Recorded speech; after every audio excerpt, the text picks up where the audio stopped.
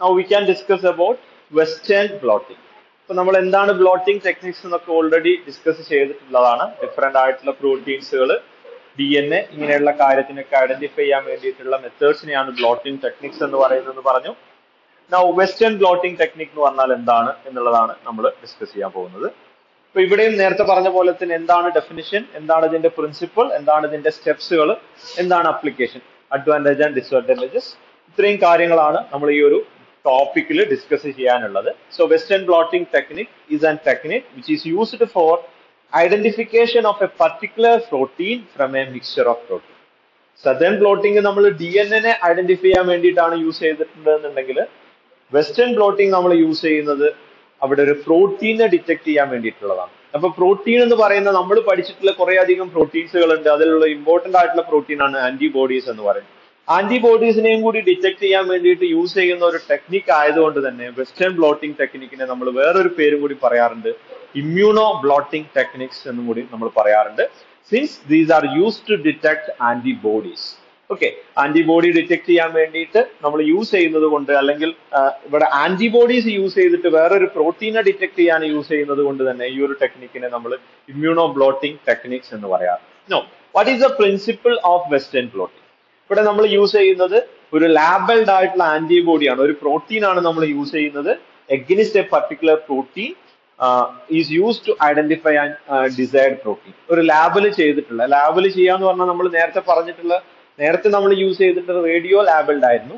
ഇവിടെ നമ്മൾ യൂസ് ചെയ്യാൻ പോകുന്നത് ഒരു എൻസൈം ലിങ്ക്ഡ് ആയിട്ടുള്ള അല്ലെങ്കിൽ എൻസൈം ലാബിൾഡ് ആയിട്ടുള്ള ഒരു ആന്റിബോഡിയാണ് ഇതിനെ ഡിറ്റക്ട് ചെയ്യാൻ വേണ്ടിയിട്ട് നമ്മൾ യൂസ് ചെയ്യുന്നത്. Okay now coming to the steps എന്താണ് വെസ്റ്റേൺ ബ്ലോട്ടിങ്ങിന്റെ സ്റ്റെപ്സുകൾ എന്നുള്ളതാണ്. First step is same as that of southern blotting we have to extract the protein or tissue preparation നമുക്ക് കിട്ടിയിരിക്കുന്ന ഒരു സാമ്പിളിൽ നിന്ന് നേരത്തെ നമ്മൾ ഡി എൻ എനെ സെപ്പറേറ്റ് ചെയ്തു. ഇവിടെ നമുക്ക് പ്രോട്ടീനെയാണ് സെപ്പറേറ്റ് ചെയ്യേണ്ടത്. അപ്പൊ അതിനെ എക്സ്ട്രാക്ട് ചെയ്യുക extraction of protein and tissue preparation second one is gel electrophoresis by using sodium dodecyl sulphate poly acrylamide gel electrophoresis gel different ആണ്.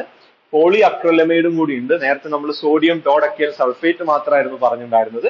ഇവിടെ sodium dodecyl sulphate poly acrylamide ജെൽസുകളാണ് use ചെയ്യുന്നത്. ജെൽ ഇലക്ട്രോഫോറസിസിന് വേണ്ടിയിട്ട്. Then blotting technique using electrical or capillary blotting then blocking by using bovine serum treatment with the primary antibody, then treatment with the secondary antibody which is labeled with an enzyme. ഒരു എൻസൈമായിട്ട് ലാബിൽ ചെയ്തിട്ടുള്ള ഒരു secondary antibody treat ചെയ്യുക എന്നുള്ളതാണ്. And finally treatment with specific substance അപ്പോൾ ഈ specific substance use ചെയ്യുന്നത് നമ്മൾ നേരത്തെ എക്സ്റേ ലാബിൽ ചെയ്യാത്തത് കൊണ്ട് തന്നെ നമുക്ക് റേഡിയോഗ്രാം എടുക്കാൻ പറ്റില്ല. ഒരു കളർ ചേഞ്ച് പ്രൊഡ്യൂസ് ചെയ്യാൻ വേണ്ടിയിട്ടാണ് നമ്മളൊരു സ്പെസിഫിക് സബ്സ്റ്റൻസ് യൂസ് ചെയ്യുന്നത്. ലൈക്ക് പാരാ നൈട്രോഫിനൈൽ ഫോസ്ഫേറ്റ് പോലെയുള്ള സബ്സ്റ്റൻസുകളാണ് അവിടെ നമ്മൾ അതിന് വേണ്ടിയിട്ട് യൂസ് ചെയ്യുന്നത്. ഒരു സ്പെസിഫിക് കളർ കിട്ടാൻ വേണ്ടിയിട്ട്. അപ്പൊ അതിൽ നമുക്ക് സ്പെസിഫിക് വേണ്ട പ്രോട്ടീൻസ് എന്തെന്നുണ്ടെങ്കിൽ ഒരു കളർ ചേഞ്ച് പ്രൊഡ്യൂസ് ചെയ്യും എന്നുള്ളതായിരിക്കും അൾട്ടിമേറ്റ് ആയിട്ട് അതിന്റെ റിസൾട്ട് എന്ന് പറയുന്നത് വെസ്റ്റേൺ ബ്ലോട്ടിംഗ് ടെക്നിക് എന്ന് പറയുന്ന ഒരു technique now coming to the steps ഓരോ സ്റ്റെപ്സുകളായിട്ട് നമുക്ക് നോക്കാം. First one is extraction of protein and tissue preparation so protein is extracted by either mechanical or chemical lysis of the cell and this step is also known as tissue preparation നമുക്ക് കിട്ടിയിരിക്കുന്ന ഒരു സെല്ലിൽ അതിന്റെ പ്രോട്ടീൻസിനെ identify ചെയ്യാൻ രണ്ട് മെത്തേഡ്സുകളാണുള്ളത് chemical methods ഉണ്ട് അല്ലെങ്കിൽ mechanical മെത്തേഡ്സുകൾ ഉണ്ട് സോണിക്കേറ്റർ യൂസ് ചെയ്തിട്ടോ അല്ലെങ്കിൽ ഹൈലി മെക്കാനിക്കൽ സ്റ്റിററുകൾ യൂസ് ചെയ്തിട്ടൊക്കെയാണ്. ദെൻ നമ്മൾ ഇനി അടുത്ത സ്റ്റെപ്പ് എന്ന് പറയുന്നത് നമുക്കിവിടെ പ്രോട്ടീൻ ആണ് എക്സ്ട്രാക്ട് ചെയ്ത് എടുക്കേണ്ടത് അതുകൊണ്ട് പ്രോട്ടീൻ ഡീനാച്ചുറേറ്റ് ചെയ്യപ്പെടാതിരിക്കാൻ വേണ്ടിയിട്ട് പ്രോട്ടിയേസ് ഇൻഹിബിറ്റേഴ്സുകളാണ് നമ്മൾ ഇവിടെ ആഡ് ചെയ്യുന്നത്. സദേൺ പ്രോട്ടീനിൽ പ്രോട്ടീനെ ഡൈഗ്രേഡ് ചെയ്യാൻ വേണ്ടിയിട്ടുള്ള പ്രോട്ടീനേസ് എൻസൈം ആണ് ആഡ് ചെയ്തതെന്നുണ്ടെങ്കിൽ ഇവിടെ പ്രോട്ടീൻ ഡീനാച്ചുറേറ്റ് ചെയ്യപ്പെടാതിരിക്കാൻ വേണ്ടിയിട്ട് നമ്മൾ ആഡ് ചെയ്യുന്നത് പ്രോട്ടീനേസ് അല്ലെങ്കിൽ പ്രോട്ടീൻ പ്രോട്ടിയേസ് ഇൻഹിബിറ്റേഴ്സുകളാണ് ആഡ് ചെയ്യുന്നത്. That is mean difference okay to prevent denaturation of protein protease inhibitors is used and this concentration of protein is determined by by photometric method എത്രയാണ് അതിൽ നമുക്ക് കിട്ടിയിരിക്കുന്ന സാമ്പിളിൽ എത്രത്തോളം പ്രോട്ടീൻസുകൾ ഉണ്ട് എന്ന് ഐഡന്റിഫൈ ചെയ്യാൻ ഡിഫറെന്റ് ആയിട്ടുള്ള മെത്തേഡ്സുകളാണുള്ളത് ഇപ്പൊ നിങ്ങൾ ഒപ്റ്റിക്കൽ സ്പെക്ട്രോസ്കോപ്പി പഠിച്ചിട്ടുണ്ടാവും. അല്ലെങ്കിൽ അതിനനുസരിച്ച് നിങ്ങൾക്ക് പഠിക്കാനുള്ളതാണ്. അതുവഴി ഹെർബിഡിറ്റി മെഷർ ചെയ്തിട്ടാണ് അതിന്റെ എത്രത്തോളമാണ് അതിന്റെ കോൺസെൻട്രേഷൻ ഡിറ്റർമിൻ ചെയ്യുന്നത്. Then sufficient amount of protein sample is obtained. uh, it is diluted in loading buffer containing glycerol which will help to sink the sample in well നമ്മൾ ഇതൊരു മൈക്രോ വെൽസിലാണ് ഈ പറഞ്ഞ ടെസ്റ്റുകളൊക്കെ ചെയ്യാം. ചെറിയ ചെറിയ ഹോൾസുകളുള്ള ഒരു പ്ലേറ്റ് ആണ് ഈ മൈക്രോവെൽ എന്ന് പറയുന്നത്. അപ്പൊ ആ വെല്ലിൽ പ്രിപ്പയർ ചെയ്യുന്ന സമയത്ത് ഈ സാമ്പിൾ നമ്മളെ സൊല്യൂഷനിൽ ഡിപ്പ് ചെയ്ത് നിൽക്കാൻ വേണ്ടിയിട്ടാണ് ഗ്ലിസറോൾ കണ്ടെയ്നിങ് ആയിട്ടുള്ള ലോഡിംഗ് ബഫേഴ്സിൽ നമ്മൾ ഡയലൂട്ട് ചെയ്യുന്നത്. Then will add a tracking dye usually bromo thymol B blue is added in sample to monitor the movement of protein പ്രോട്ടീനിന്റെ movement മനസ്സിലാക്കാൻ വേണ്ടിയിട്ടാണ് ഈ ട്രാക്കിംഗ് ഡൈസുകൾ യൂസ് ചെയ്യുന്നത്. ബ്രോമോ തൈമോൾ ബ്ലൂ ആണ് അതിന് വേണ്ടിയിട്ട് യൂസ് ചെയ്യുന്നത്. Now coming to the step 2 gel electrophoresis by using sodium dodecyl sulfate polyacrylamide gel. So here the separation is will be based on the electric charge isoelectric point molecular weight or combination of all these നേരത്തെ നമ്മൾ ചാർജും molecular ബേസും മാത്രം base ചെയ്തിട്ടായിരുന്നു നമ്മൾ southern ബ്ലോട്ടിങ്ങിൽ അതിനെ separate ചെയ്തിട്ടുള്ളത് ഈ ഒരു കാര്യത്തിൽ നമ്മൾ യൂസ് ചെയ്യുന്ന ജെല്ല് വ്യത്യാസമുണ്ട്. Sodium dodecyl sulphate poly acrylamide gel ആണ് ഇവിടെ യൂസ് ചെയ്യുന്നത്. അതുകൊണ്ട് തന്നെ സെപ്പറേഷൻ ഇലക്ട്രിക് ചാർജിന്റെയും ഐസോ electric പോയിന്റിന്റെയും molecular weight iso electric point എന്തുകൊണ്ട് ഇവിടെ ഇമ്പോർട്ടന്റ് ആയിട്ട് വരുന്നു എന്ന് പറഞ്ഞാൽ നിങ്ങൾക്ക് അറിയുന്നുണ്ടാവും. പ്രോട്ടീൻസ് എന്ന് പറയുന്നത് they containing both amino acid as well as amino acid ആളാണ്. ഒരു അമീൻ ഗ്രൂപ്പും ഉണ്ട് ഒരു അസിഡിക് ഗ്രൂപ്പും ഉണ്ട്. ഇത് ഈക്വൽ ചാർജിൽ നിൽക്കുന്ന സമയത്തിനെയാണ് ഐസോ ഇലക്ട്രിക് പോയിന്റ് എന്ന് പറയുന്നത്. പ്രത്യേകിച്ച് ഒരു നേച്ചർ അസിഡിറ്റിയോ അല്ലെങ്കിൽ വേസിഡിറ്റിയോ കാണിക്കാത്ത. അപ്പൊ ആ ഒരു പോയിന്റുകളാണ് അതിനെ ബേസ് ചെയ്തിട്ടാണ് ഈ ഒരു സെപ്പറേഷൻ നടക്കുന്നത്.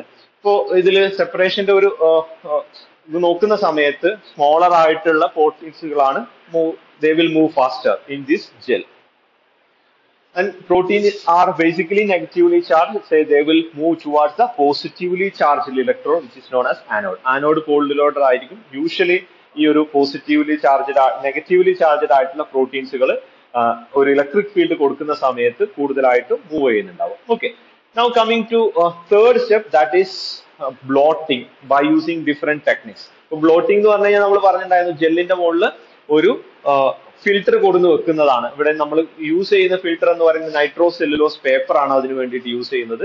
അപ്പൊ ജെല്ലിൽ സെപ്പറേറ്റ് ആയിട്ടുള്ള ഡി എൻ എസ് പ്രോട്ടീൻസിനെ ഈ ഒരു ഫിൽറ്ററിലോട്ട് ട്രാൻസ്ഫർ ചെയ്യുക എന്നുള്ളതാണ് നമ്മൾ അതിന് വേണ്ടിയിട്ട് യൂസ് ചെയ്യുന്നത്. ഓക്കെ ഈ ഇതിലോട്ട് ട്രാൻസ്ഫർ ചെയ്യാൻ വേണ്ടി നേരത്തെ നമ്മൾ ഓട്ടോക്ലേവും യു വി റേഡിയേഷനും ആണ് യൂസ് ചെയ്തിട്ടുണ്ടായിരുന്നത്. ഈ ഒരു മെത്തേഡിൽ നമ്മൾ യൂസ് ചെയ്യുന്നത് കാപ്പിലറി ആക്ഷൻ ആണ്. കാപ്പിലറി ആക്ഷൻ യൂസ് ചെയ്യുന്ന സമയത്ത് അതൊരു ടൈം കൺസ്യൂമിംഗ് പ്രോസസ് ആണ്. അപ്പൊ അതിനെ ഓവർകം ചെയ്യാൻ വേണ്ടി ഇലക്ട്രോ ബ്ലോട്ടിംഗ് ടെക്നിക്സുകളാണ് യൂസ് ചെയ്യുന്നത്. അവിടെയും നമ്മൾ ഒരു ഇലക്ട്രിക് ഫീൽഡ് കൊടുക്കും. എഫിഷ്യന്റ് ട്രാൻസ്ഫർ നടത്താൻ വേണ്ടിയിട്ട് നൈട്രോ സെല്ലുലോസിന്റെ മുകളിൽ ഒരു എന്താ പറയാ കാസറ്റോ ഫിൽറ്റർ പേപ്പർ യൂസ് ചെയ്തിട്ടാണ് ഒരു ഇലക്ട്രിക് കറണ്ട് പാസ് ചെയ്തിട്ടാണ് ഈ ഒരു ഈ ഒരു മൂവ്മെന്റ് നമ്മൾ കുറച്ചുകൂടി ഫാസ്റ്റ് ആക്കുന്നത്.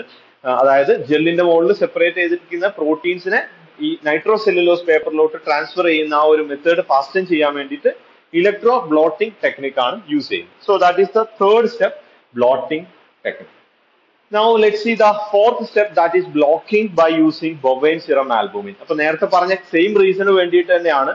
ഇവിടെ കുറച്ചും കൂടി ഈ ഒരു ബ്ലോക്കിങ്ങിന്റെ ഇമ്പോർട്ടൻസ് എന്തുകൊണ്ടാന്ന് വെച്ച് കഴിഞ്ഞാൽ അൺവാണ്ടഡ് സൈറ്റിലോട്ട് കൂടുതലായിട്ട് അതിന് ബൈൻഡ് ചെയ്യാനുള്ള പ്രോപ്പർട്ടി ഉണ്ട് എന്നുള്ളതാണ്. Both target as well as antibodies ബാക്കിയുള്ള പ്രോട്ടീൻസുമായിട്ടൊക്കെ അൺവാണ്ടഡ് ബൈൻഡിങ് ഉണ്ടാക്കാനുള്ള ചാൻസ് ഉണ്ട് എന്നുള്ളത് കൊണ്ടാണ് ഈ ഒരു ബ്ലോക്കിംഗ് സ്റ്റെപ്പ് ഇമ്പോർട്ടന്റ് ആയിട്ട് വരുന്നത്.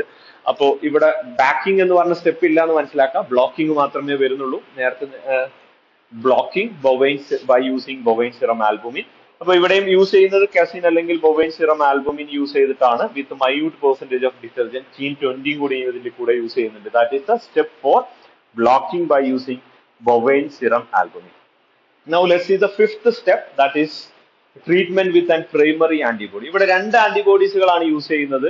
ആ പ്രൈമറി സ്പെസിഫിക് ആന്റിബോഡി ഡിസൈഡ് പ്രോട്ടീൻസിനെ ഡിറ്റക്ട് ചെയ്യാൻ വേണ്ടിയിട്ടുള്ള അല്ലെങ്കിൽ ആന്റിജൻ ആന്റിബോഡി കോംപ്ലക്സ് ഉണ്ടാവാൻ വേണ്ട ആ ഒരു സ്പെസിഫിക് ആയിട്ടുള്ള ഡിസൈഡ് പ്രോട്ടീൻ ആദ്യം കൊടുക്കുക എന്നുള്ളതാണ്. അതിനുശേഷം ഒരു secondary antibody which is labelled with an enzyme these here ഒരു എക്സാമ്പിൾ നമ്മൾ മെൻഷൻ ചെയ്തിട്ടുള്ളത്. ആൽക്കെയിൻ ഫോസ്ഫറ്റൈസ് അല്ലെങ്കിൽ ഹോസ് പെറോക്സിഡൈസ് എന്ന് പറയുന്ന രണ്ട് എൻസൈമിൽ ഏതെങ്കിലും ഒരു എൻസൈം കൊണ്ട് ലാബിൽ ചെയ്തിട്ടുള്ള ഒരു സെക്കൻഡറി ആന്റിബോഡിയാണ് നമ്മൾ അതിന് വേണ്ടിയിട്ട് യൂസ് ചെയ്യുന്നത്. ഈ സെക്കൻഡറി ആന്റിബോഡി നമ്മൾ യൂസ് ചെയ്തിട്ടുള്ള പ്രൈമറി ആന്റിബോഡിനെതിരെയാണ് അത് ആക്ട് ചെയ്യുക. അങ്ങനെ ഒരു ആന്റിജൻ ആന്റിബോഡി കോംപ്ലക്സ് ആണ് അത് ഫോം ചെയ്യുന്നുണ്ടാവും okay so that is the six fifth and six step treatment with primary antibody and treatment with the secondary antibody which is labeled with an enzyme like alkaline phosphatase or host radish peroxidase. ആ സമയത്ത് specific ആയിട്ടുള്ള antigen ആന്റിബോഡിയുമായിട്ട് react ചെയ്ത് ഒരു antigen antibody complex form ചെയ്യുക എന്നുള്ളതാണ്. And seventh step is treatment with suitable substrate ഇങ്ങനെ visualise ചെയ്യാൻ വേണ്ടിയിട്ട് എൻസൈമിന്റെ ആക്ഷൻ വിഷ്വലൈസ് ചെയ്യാൻ വേണ്ടിയിട്ട് നമ്മൾ ഒരു സബ്സ്റ്റൻസ് ആഡ് ചെയ്യും. നമ്മൾ നേരത്തെ പറഞ്ഞിട്ടുണ്ടായിരുന്നു. പാര നൈട്രോ ഫിനോൾ എന്ന് പറഞ്ഞിട്ടുള്ള ആ ഒരു കോമ്പൗണ്ട് ആണ് ആഡ് ചെയ്യുന്നത്. വിസിബിൾ കളർ പ്രൊഡക്റ്റ് കിട്ടാൻ വേണ്ടിയിട്ടാണ്. അപ്പൊ ഈ കളറിന്റെ ഇന്റൻസിറ്റി നോക്കിയിട്ട് നമുക്ക് അതൊരു ക്വാണ്ടിറ്റേറ്റീവ് ടെസ്റ്റ് കൂടി ആയിട്ട് യൂസ് ചെയ്യാൻ പറ്റും. എത്രത്തോളമാണ് അതിന്റെ കളർ ഇന്റൻസിറ്റി കിട്ടുന്നത്? അതിനനുസരിച്ച് അതിൽ പ്രോട്ടീനിലെ സാമ്പിൾ എത്രത്തോളം ഉണ്ട് എന്ന് ഐഡന്റിഫൈ ചെയ്യാനും കൂടി പറ്റും എന്നുള്ളതാണ് ഈ ഒരു ടെസ്റ്റിന്റെ അഡ്വാന്റേജ് എന്ന് പറയുന്നത്. So that is the seventh step treatment with suitable substrate colouring സബ്സ്ട്രേറ്റ്സുകൾ use ചെയ്യുക എന്നുള്ളതാണ്. Okay so this is the basic diagram for western blotting ആദ്യം തന്നെ നമുക്ക് പ്രോട്ടീനെ സെപ്പറേറ്റ് ചെയ്യണം. Then sodium dodecyl poly acrylamide ജെല്ലിൽ അതിന് ഇലക്ട്രോഫോറസിസ് നടത്തണം.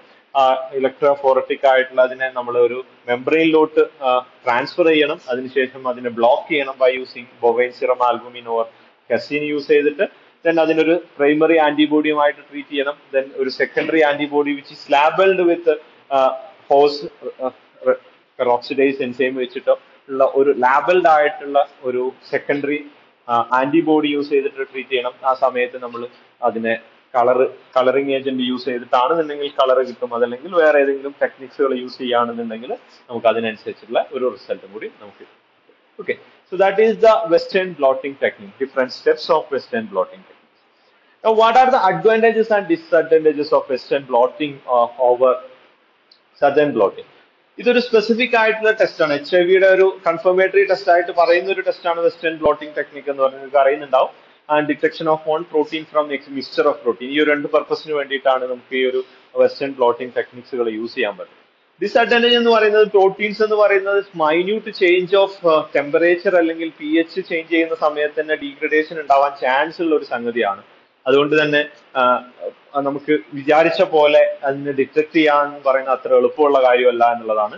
Then it will take much more time than western southern blotting and cost is more these are the disadvantages of western blotting and finally applications to determine the size and amount of protein in a given sample ഇപ്പൊ പ്രോട്ടീൻസിനെ കുറിച്ച് study നടത്തുന്ന സമയത്ത് അതിന്റെ size എത്രയാണ് എത്രത്തോളം അതിന്റെ concentration ഉണ്ട് എന്നൊക്കെ ഡിറ്റർമൈൻ ചെയ്യാൻ വേണ്ടിയിട്ട് നമുക്ക് യൂസ് ചെയ്യാൻ പറ്റുന്ന ഒരു ടെക്നിക്കാണ് വെസ്റ്റേൺ ബ്ലോട്ടിംഗ് ടെക്നിക് എന്ന് പറയുന്നത്.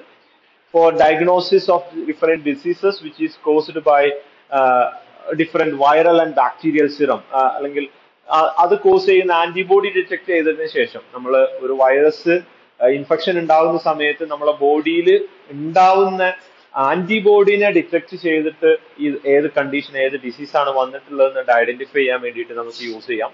അപ്പൊ അതാണ് നമ്മൾ സാധാരണ എച്ച് ഐ വിയുടെ കേസിലൊക്കെ നമ്മൾ യൂസ് ചെയ്യുന്നത്. It's an confirmatory test for H I V to detect anti H I V antibody anti H I V antibody ആണ് ഇവിടെ ഡിറ്റക്ട് ചെയ്യുന്നതെന്ന് മനസ്സിലാക്കാം ആന്റിജൻ അല്ല ഡിറ്റക്ട് ചെയ്യുന്നത്. അപ്പോൾ അതിന്റെതായിട്ടുള്ള സമയം എടുത്തിട്ട് മാത്രമേ ഈ ടെസ്റ്റ് കൺഫേം ആവുള്ളൂ. ഇൻക്യുബേഷൻ പീരീഡിലുള്ള സമയത്ത് ഈ ഒരു ടെസ്റ്റ് കൺഫോർമേറ്ററി ടെസ്റ്റ് ആയിട്ട് യൂസ് ചെയ്യാൻ പറ്റില്ല. ഇൻക്യുബേറ്ററി പീരീഡ് കഴിഞ്ഞതിന് ശേഷം ഇൻഫെക്ഷൻ കോസ് ചെയ്യുന്ന സമയത്ത് ബോഡിയിൽ അതിന്റെ ആന്റിബോഡി പ്രൊഡ്യൂസ് ചെയ്തതിന് ശേഷം മാത്രമാണ് വെസ്റ്റേൺ ബ്ലോട്ടിംഗ് ടെക്നിക്ക് അത് എച്ച് ഐ വി പോസിറ്റീവ് ആവാനുള്ള ചാൻസ് ഉള്ളൂ. And use to detect defective proteins like prion disease പോലെയുള്ള ഏതെങ്കിലും ഡിഫക്റ്റീവ് പ്രോട്ടീൻസിനെ ഒക്കെ ഐഡന്റിഫൈ ചെയ്യാൻ വേണ്ടിയിട്ട് നമുക്ക് യൂസ് ചെയ്യാൻ പറ്റും. And different diseases like Creutzfeldt Jakob disease, lymph disease hepatitis B and herpes disease ഇതിനൊക്കെയുള്ള ഒരു ഡെഫിനറ്റ് ടെസ്റ്റ് ആയിട്ടും കൂടി നമുക്ക് യൂസ് ചെയ്യാൻ പറ്റുന്ന ഒരു ടെസ്റ്റ് ആണ് വെസ്റ്റേൺ ബ്ലോട്ടിംഗ് ടെക്നിക്സ് എന്ന് പറയുന്നത്. So that is all about the western blotting techniques അപ്പൊ ഇതിലും നമ്മൾ നേരത്തെ പറഞ്ഞ പോലെ തന്നെ എന്താണ് ഡെഫിനിഷൻ എന്നുള്ളത് നമ്മൾ അറിയണം എന്താണ് പ്രിൻസിപ്പിൾ എന്നുള്ളത് അറിയണം ഏതൊക്കെയാണ് അതിന്റെ ഡിഫറെന്റ് സ്റ്റെപ്സ് ഇൻ ഈച്ച് സ്റ്റെപ്സിൽ അതിന്റെ റിയേജൻസുകൾ എന്തൊക്കെയാണെന്നുള്ളത് ഇമ്പോർട്ടന്റ് ആണ്. ഫൈനലി ഒരു ഡയഗ്രാം നമുക്ക് ഇമ്പോർട്ടന്റ് ആണ് and applications okay So that's all about the Western blotting technique.